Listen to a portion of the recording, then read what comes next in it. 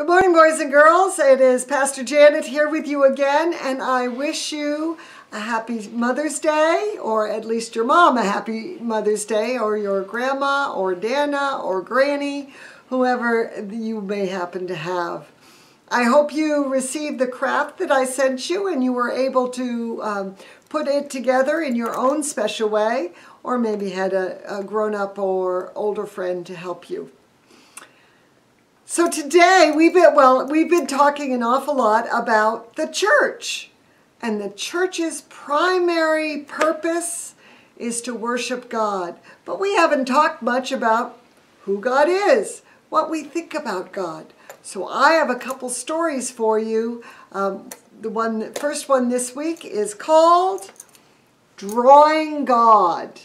And it's about a little girl and how she sees God. And I hope you will enjoy this story and then draw your own pictures of God.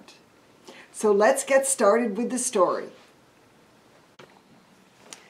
Last Monday, after a field trip to the art museum, I was inspired to draw like Picasso.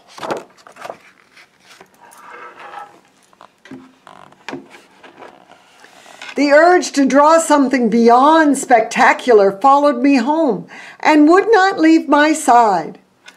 Hmm, what should I draw? I thought.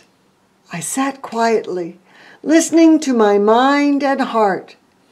And that's when I heard their whisper and decided to draw God.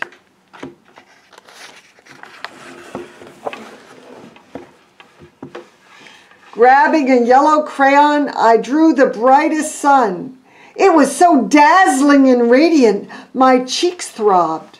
Its rays were so long, it poured at my heart, poked at my heart. Staring at the drawing, I knew I had drawn God. The next day, I took my drawing to school and showed my best friend Peter, Look, I drew God. Peter looked at me and chirped, Emma, that's not God, that's the sun. At first, I wanted to argue with Peter because I knew it was God. God is light. But instead, I decided to go home and draw God again.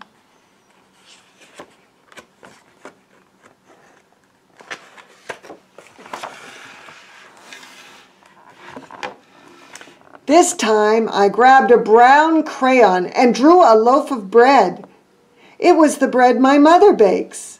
It makes me feel warm and tingly inside when I eat it. My mother said that bread reminds her of God's grace. I looked at the drawing. It made me feel warm and ting tingly inside. I knew I had drawn God.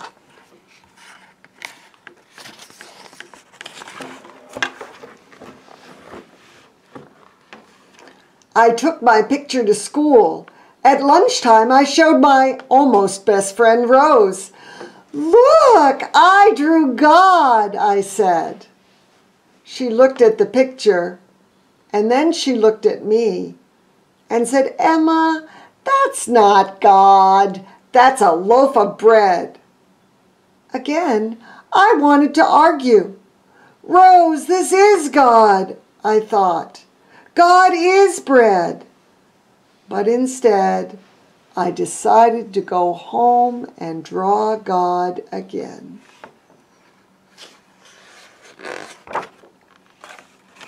That night, I sat down and asked God for some help.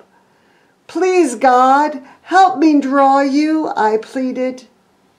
I stared at a blank piece of paper for a while and then grabbed a red crayon.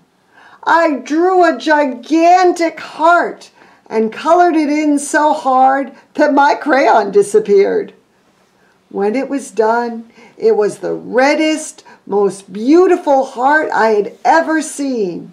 My heart was thump, thump, thumping. I knew, absolutely, positively I had drawn God. Even Picasso would agree.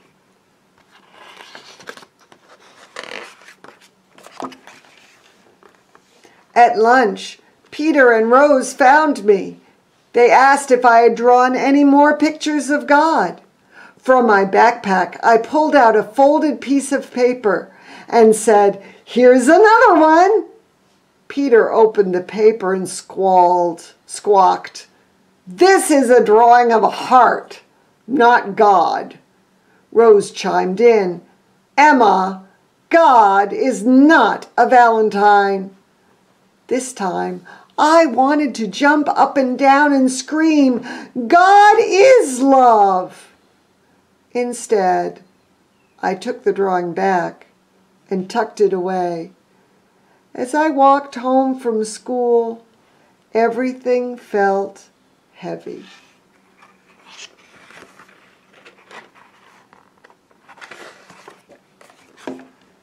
That night, I didn't feel like Picasso. Kneeling next to my bed, I asked God for some more help. God, please help me draw you so that my friends can see you.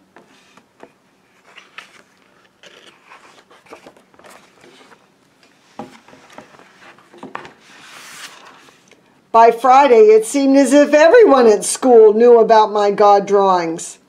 Everyone was looking at me. I was waiting for them to point and to laugh. But for the first time, I didn't care what anyone thought about my drawings. I felt a comfort that would not leave my side. I knew that I had drawn God, and God knew that I had drawn God. And maybe Picasso knew too. And finally, that felt like enough. But on the following Monday, something beyond spectacular happened.